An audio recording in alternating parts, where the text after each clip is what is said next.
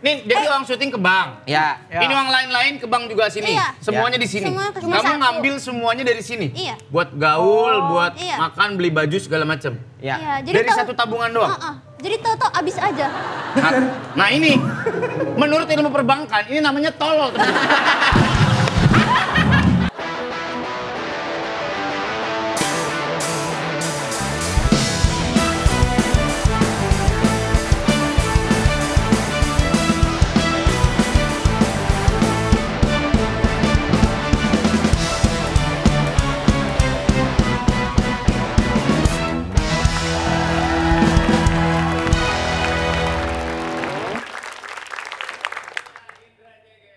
Duo kering, pakai brand.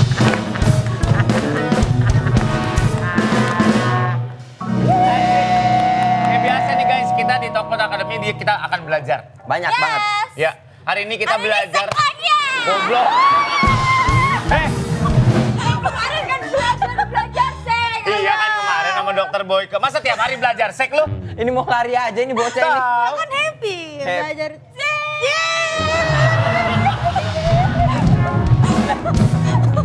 guys kita akan belajar masalah eh, mengatur uang. Benar sekali. Ini kan Bagaimana kalian mengatur uang kalian? aku juga termasuk yang masih butuh, Pak. Soalnya sorry nih, sorry sorry itu sih ya. Maksudnya uang aku tuh capek banget ngabisinnya aku tuh. Pak. Anjay. Capek banget. Ini baru tadi habis. Udah nggak ada lagi duit gue nih kok. Tapi kadang orang-orang emang tipikalnya nggak bisa nyimpen uang. benar benar benar. Karena emang nggak ada uangnya. benar juga benar Iya, benar. iya. Enggak, maksud gua ah, organize uang tuh mesti diomongin, Benar. Iya. mesti direncanakan. sama sama kita sendiri apa pasangan? Ya dua-duanya. Dua-duanya. Nah sekarang kita akan mengundang soal lulusan bisnis dan manajemen dari Universitas Prasetya Mulia. Widih. Prasmul. Oh, Prasmul. Prasmul. Founder dari salah satu exhibition, organizer dan digital creative agent. Ngobrol aja lo berdua. Sekarang juga aktif sebagai content creator memberikan informasi-informasi seputar finansial. Ya. Yang ini dia Koko Theo Dede. Yoi.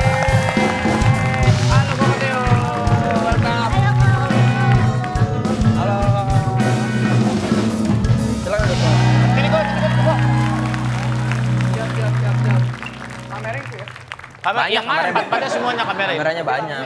Gak apa-apa aman. Kalau aku mau nanya langsung deh nih, menurut seorang Koteo, apa eh, hal de- hal dasar deh, hal basic yang anak muda yang paling basic deh soal finansial nih? Ya. Oke, buat anak muda yang paling basic buat finansial adalah make sure tiap bulan pengeluarannya lebih Kecil. Besar. lebih kecil. dari Oh, lebih kecil. Berapa persen sih amannya? Apa? Berapa persen amannya? Misalkan Itu gaji kita sekarang 6 juta. Ya, Pengeluaran tiap bulan harusnya rutinnya amannya di berapa?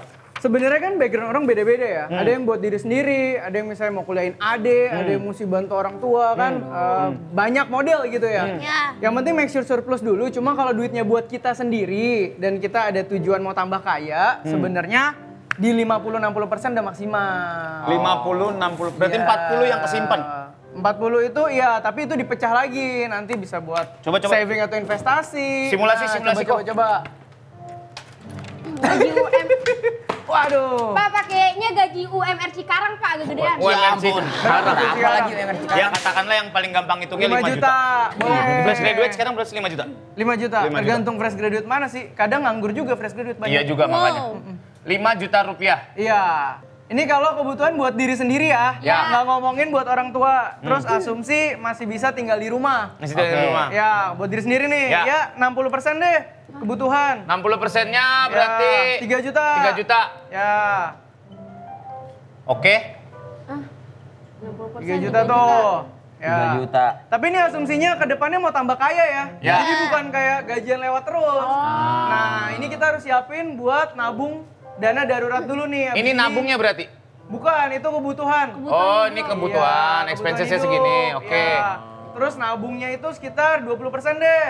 20 persen berarti Ya, 1 juta. 1 juta. Ya.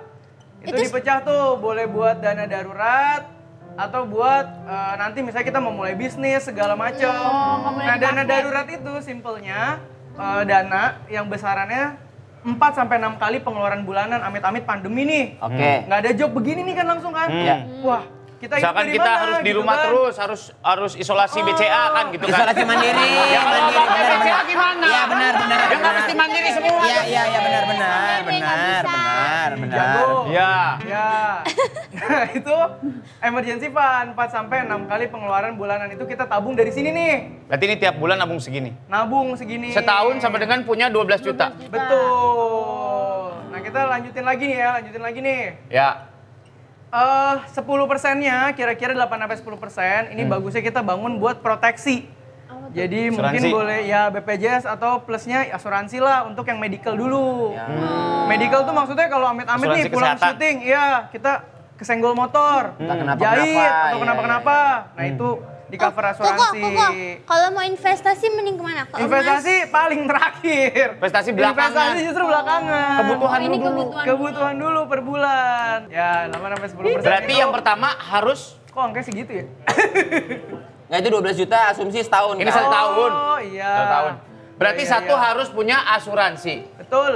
Kesehatan ya. Betul, kesehatan dulu yang paling awal. Yang kedua, Nabung dana darurat tadi. Dana darurat tuh 6 Iya. atau 4? 4 sampai 6 kali pengeluaran bulanan. 4 sampai 6 kali pengeluaran Ya, bulanan. Misalnya sebulan kita keluar uang 4 juta.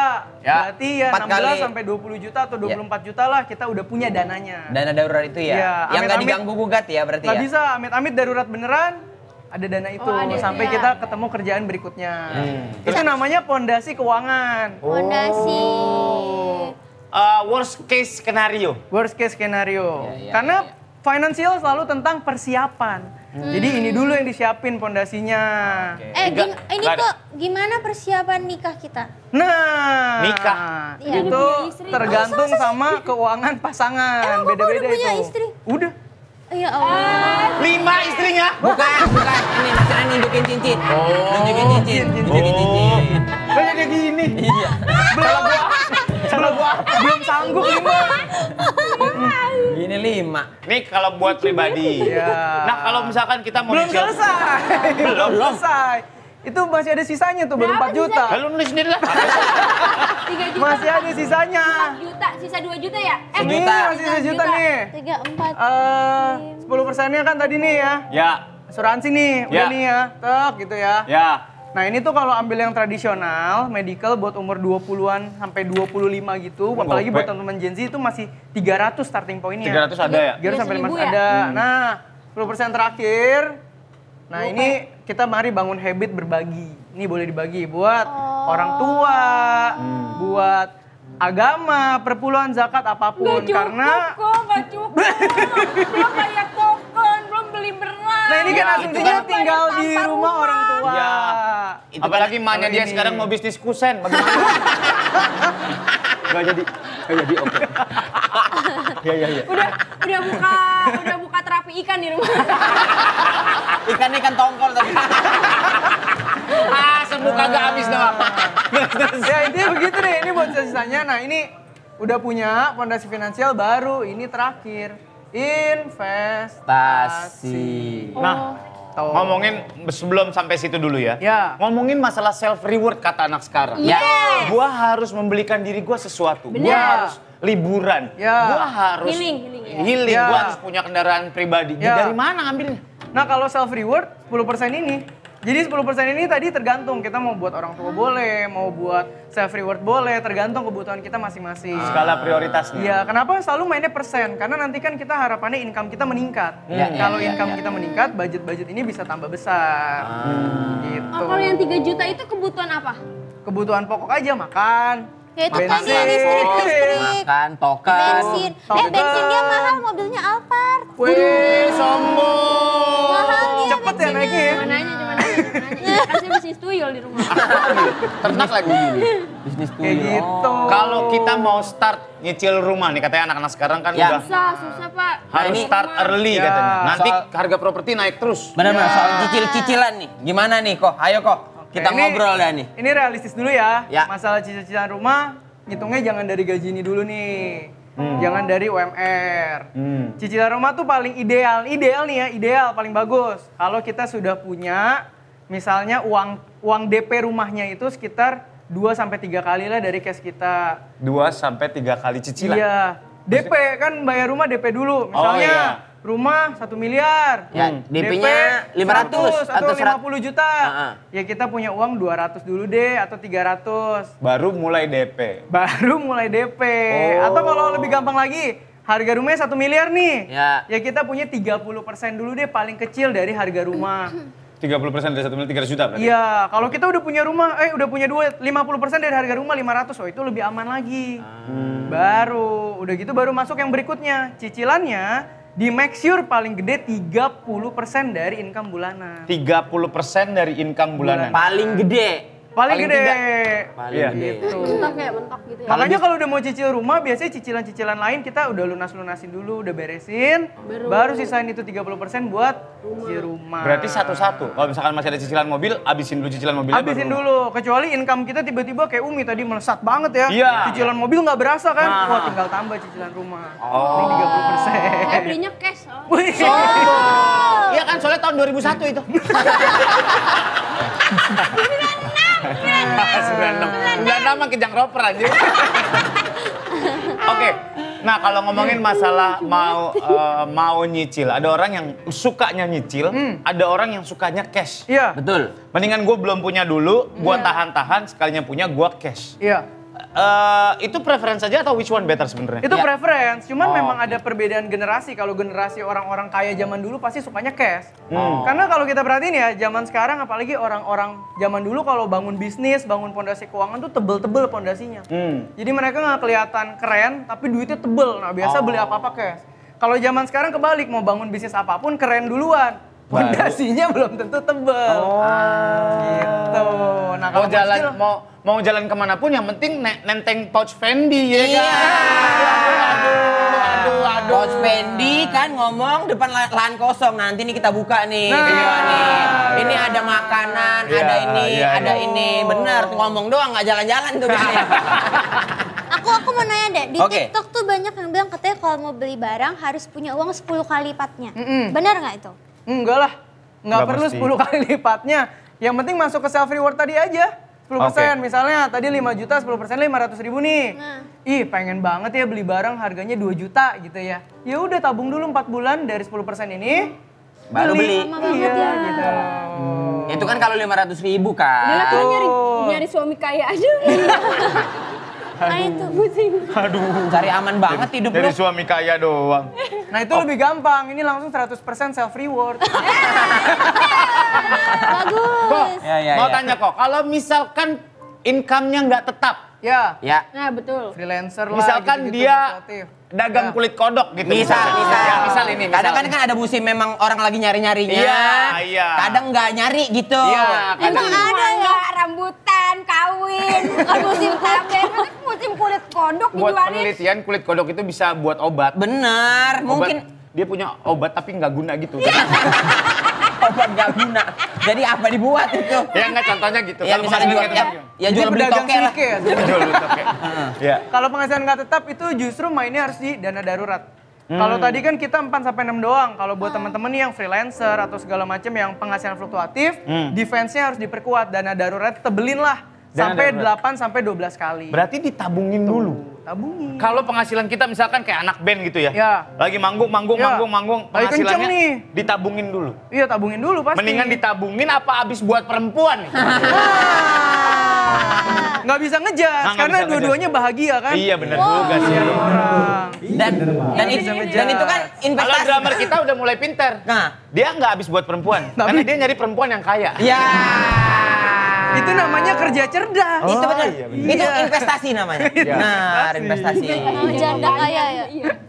Oke, kalau ngomongin masalah cicilan lagi kan, Ya. ada orang yang bilang kalau nggak nyicil gua nggak akan punya. Benar, ada berani, berani melakukan itu. Udah cicil aja dulu, yang penting eh, yang penting punya Bayarnya gitu. gimana mah ntar aja gitu. Ya itu Ya. yang tadi kita bilang, selama kita punya dari aset yang kita mau cicil sekitar mobil deh paling gampang. Ya. Mobilnya.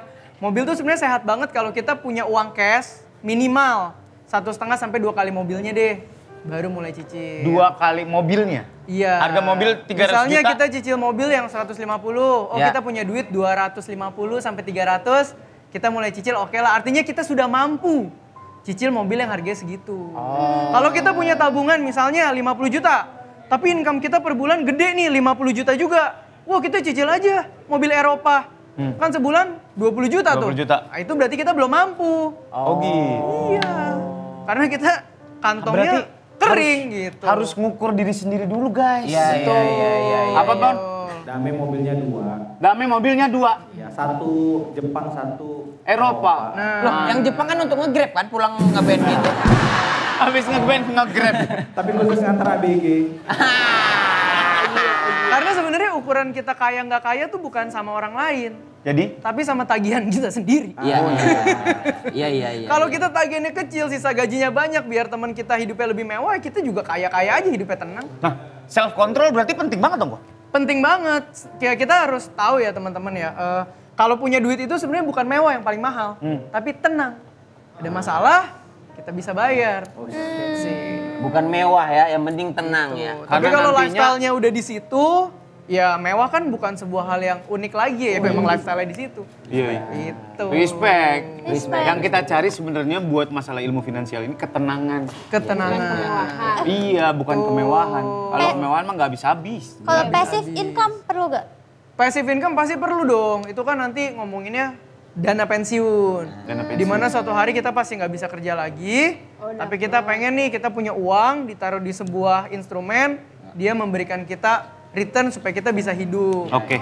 Nah, itu nih. baru ngomongin investasi tuh. Iya, iya. Kok, Tadi. soal ini deh, soal kadang-kadang mental. Ini kan masalah mental gitu. Kan Ya. Aku, kan- aku dari daerah ya. Misalnya yang dulunya tuh bawa eh, uang... Kampung, kampung. Kaki gunung. Oh, memang hina ya, itu menghina Enggak, ya. gua nanya, gua nanya. Bukan nggak orang daerah gitu. Kadang-kadang dapat dapat duit sekarang sama dapat duit dulu itu kayak menggampangkan menggampangkan jadinya. Maksudnya? Kayak misalnya dulu tuh dapat sejuta kan susah kan. Sekarang gampang dap- ya? Sekarang misalnya gampang lah kita anggap.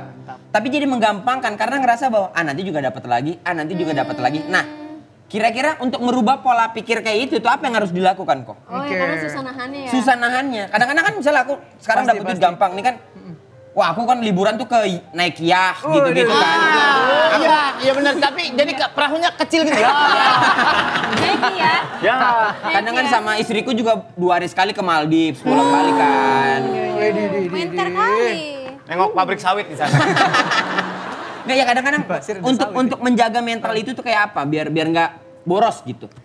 Jadi sebenarnya kita harus pertama kita harus mikir dulu bahwa segala sesuatu yang naik itu tidak ada yang sustainable. Oke. Karir, mau pemasukan, apa pun kita harus bisa terima kenyataan itu dulu bahwa segala sesuatu yang naik atau bertambah itu nggak ada yang sustainable.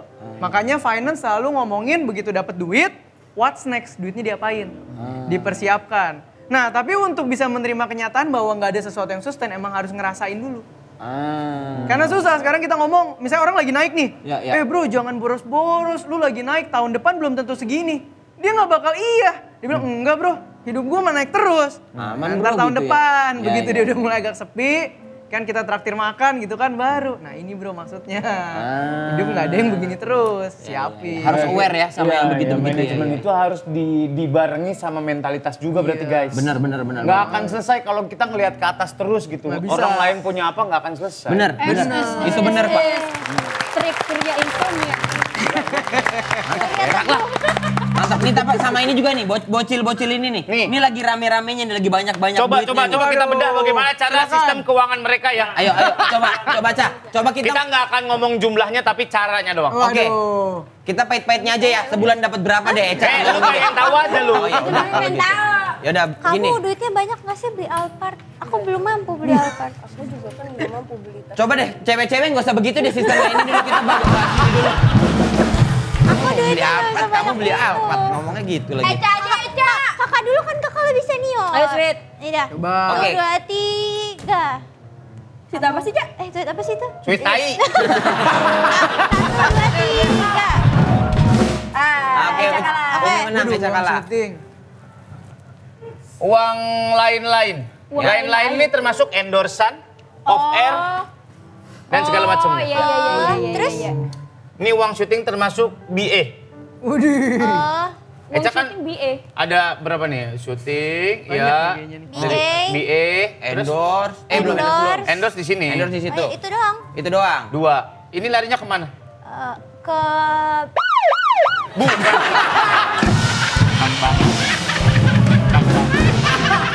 Bukan masalah bang. terus larinya ke mana? Ini tuh tabungan apa yang Buat yang- apa buat duit apa? itu? Nggak ada. Dana darurat. Buat nikah. Ditaruh aja. Taruh aja. Taruh di aja. deposit.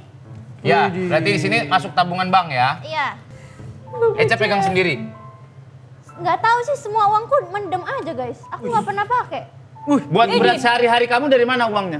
Oh dari aku. Ya dari mana? Oke Pak. Ya dari mana? Pak, semuanya tuh digabung Gini. Pak, biar Uang ini sama biar ini. gampang nih, biar gampang nih ya. Pendapatanmu sebulan kita nggak usah bicara, ini asal-asal aja ya. Nah. Berapa kira-kira? Kita anggap Gimana ya?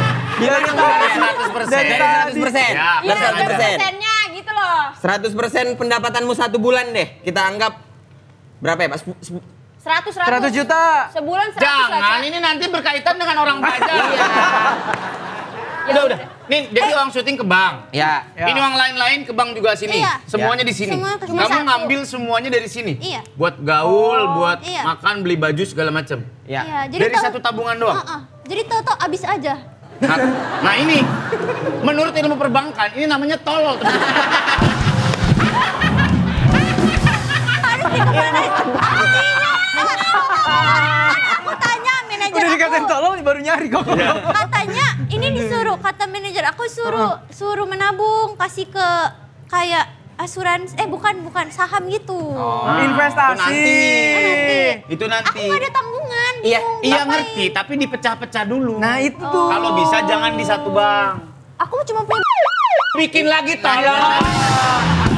Jadi kalau bisa Iya. ini ada bank lagi. Ada bank lain. Ini ke sini, kalau dapat duit dari yang lain masukin ke Bank sini lain, ke nah, bank boleh lain. Oh, oh jadi kayak ini tuh buat hidup, ini buat nggak Ya, hidup. ini buat running cost. Misalkan Ya. sebulan mau berapa buat running cost kamu biar nggak terlalu Oh. biar nggak terlalu tinggi. Eh, bang apa sih yang bagus lagi?